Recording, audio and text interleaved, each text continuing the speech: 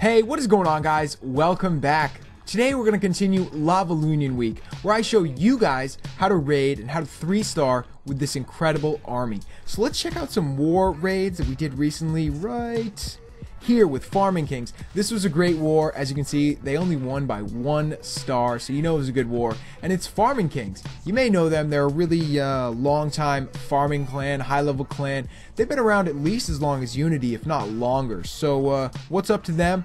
Uh, let's check out some of the best raids in this war because they were some great examples of what to do when you need a three-star base. Here we go. Uh, this may be number 33 in the enemy clan, but as you can see, it's a pretty decent base. He's got good defenses. Most of them are maxed. So let's see how we start the raid here. We're going to go in with two golems. This is the most important part of the raid, the setup. If we don't get this right, we're going to fail. So let's see what we're doing here. We've got the golems spread out a little bit, about three buildings width apart. That's what I would call it. Uh, we're doing that so we can protect our wizards. We've got to get these wizards on the outside to take out all the buildings they can so there's no distractions for our heroes. It's very important. You Got to make sure you take those out. So now we're just clearing a path for the king and the queen basically to get in there to where that jump spell is. Now once they get in that jump spell and pretty much into that compartment, we're to have them take out this air defense here, of course the queen, uh, the X-Bow there, and the Inferno. And if they do all that, this is to be really, really worth it. We're using a lot of troops, we're using a lot of spells, and we're killing our heroes. But if it works, it's worth it. So let's see what happens here. Now we've already got the jump spell down. I put it down really early like that because the jump spell, it lasts like 45 seconds. You can put it down early. So here's another tip. You guys may wonder why I put the, uh, why I use the Barb King ability so early. I just do that to protect him.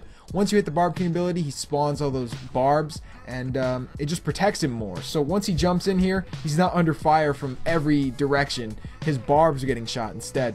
That's just personal preference, guys. Uh, there, I was able to uh, lightning most of the clan castle. It's hard to see what's going on, you know? There's so much going on there. Everything's shooting at your golems and, and your king. But I just wait a second, let the clan castle bunch up, and then drop the lightning on where I think it is. So there we go. Looks like we took everything out pretty easily. The queen still has some health. She's taken out a few more buildings, which is awesome. Alright guys, here is another very important part of the raid, the initial deployment. You want to use, uh, I always say, you want to go in heavy on this initial deployment, and that means about half of your balloons. Now they're not going to be in one spot, they're going to be in like three spots like I did here, but you want to go in heavy because those balloons are going to bunch up, and we want them to bunch up around here where this air defense is, X-Bow is, and Inferno is, so they can take out those heavy buildings. Now let's keep going. We're going to basically start in this left corner here and then just work our way around the base in a circle. So there we go, second Lava Hound with a few balloons behind it just to keep taking out defenses as we go. We're going to, of course, put another group of troops on the very bottom of the base here. Oh, one Lava Hound and a few balloons. So we're just still working our way from left to right around the base. Looks like we're getting to the final corner now. This is important. You want to save something for the end of the raid here. You're always going to have usually going to have one final wizard tower to take out, and they're pretty pesky, man. Max wizard towers, especially, they're they're really hard on your balloons. So we saved a few balloons and we dropped them slowly on the right side to distract that wizard tower and help take it out. So it looks like that worked pretty well. Now we have to take out this max uh, air defense, which can take down our balloons in two shots or less. Looks like we do have enough balloons to take it out though. The final defense is a cannon, so yes, we did it. As long as we can clean up all the rest of the buildings. This is another important part. When you plan for a raid like this, you gotta have, you should have, some cleanup troops. Now for this, I brought a few goblins because there was uh, storages outside, a lot of mines and pumps outside, so I can use those goblins to help take out those buildings really fast. But I still have to rely on the balloons and the lava pups to take out some of the other buildings. But for this case, it looks like it's going to work. Sometimes you'll end up with a lot of lava pups, sometimes you won't have that many. You'll notice here I probably have like 10 lava pups. Sometimes you only have 3, sometimes you have like none, sometimes you'll have a ton of them. You can't really count on the lava pups, but usually you'll have some. Usually you'll have at least this many. So there we go guys. Boom! 3 stars. Uh, not an easy raid by any means, but you know, it can certainly be done. You just gotta have a plan like I did. Start in one area. If it works, then start in another area with the first part of the deployment and then just work your way in a circle around the base. I know it, you know, it sounds complicated as we're going through the raid, but you guys can do it and the more you practice it, the easier it gets. Um, it's not always gonna, it's not ever gonna be like totally easy, but you guys can do this. So let's check out a sort of a different raid from the other clan they were able to three star a couple of our guys. So we'll check out at least one of those raids. But as I was saying, they did it completely different. So let's look at this one right here. Um, check it out. They don't have golems. That's the main difference here. They're just going to drop heroes right here with actually one giant just to distract for a moment. But these heroes are going to do a lot of work. I was, I was amazed by how well this worked. And you guys are probably going to be amazed too. So they split up. The king went into one compartment. He's going to take out a bunch of key defenses, like archer towers and wizard towers are key defenses against this army. And that uh, that archer queen took out that whole compartment.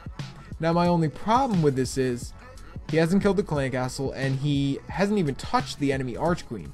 Eric's archer queen is a level 40 archer queen. It's still intact and it's in the middle. But you know, he really couldn't get to that Archer Queen very easily, and that was his idea here. He he knew he couldn't kill it with um, his his heroes, so he's gonna deal with it later. Now, this is a good way to deal with the enemy clan castle, a balloon. Um, if you guys know how to do that, it's a good way to do it because then you won't need a lightning spell like I had to use in my raid. So that's something to consider, guys. Here we go. He's just gonna go heavy on this bottom side, just LavaLoonion spam and this is the sketchy part of this raid. So, you know, look, he has a level 40 Archer Queen that is full health, just peppering his troops. And at this point, when I was watching this, I'm thinking, how is this going to work? What's he going to do here? Well, of course, he's going to rely on his balloons to hit the Arch Queen. And it's a little bit of luck, but, you know, he did obviously intend for this to happen. His balloons are going to drop on that Tesla right there and drop on the Arch Queen as well. So, boom, they took her out. So now his balloons have sort of split up. He saved a few to drop on the left side there, and that's going to allow his balloons in the middle to go straight up through the base, and he's just making it look easy here. I mean, really great raid by Juan here. He really, really did good. I got to give him props. This was a proper raid. He really you know, worked out every problem in the base really well. Uh, dealing with that Archer Queen, taking out, you know, a third of the base with just his heroes, and then this right here. So you know how I was just talking about this, guys. You're going to have a final wizard tower that you got to take out. He uses a giant. It's a great idea. Uh, I've seen a few people do this lately, and I think I'm going to try it. You know, I, I used like four or five balloons in my raid. He just used a giant. So maybe I'll bring like two giants to do this if I uh, do this again this war. We'll see. So there he goes, cleaning up the last two defenses. Looks like he's going to get it no problem. And yeah, Eric is not a low member in our clan. I think he was number 20 or something.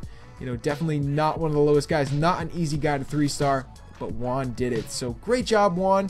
Really uh, winning it for your clan there. This and one other three star won it for these guys. So uh, props to them. Great war from Farming Kings. Really got to give you guys respect.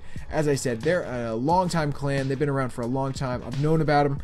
We haven't warred them before, but it was really an honor to war you guys. So thanks for a good war. So guys, that is it for today. I'm glad we got to talk about these uh, slightly different styles of Lava. Every raid is different, that's the bottom line, but you gotta have a plan. You gotta go in and take out at least one air defense, take out a few defenses with your heroes, and then go in with the Lava. That's what I'm gonna recommend you guys, you know, base your raid around that. So if you guys have any questions, let me know in the comments below. And if you enjoyed this video, leave me a like and a comment. And if you guys haven't subscribed already, please do. Alright guys, thank you for watching and I will see you next time. Peace!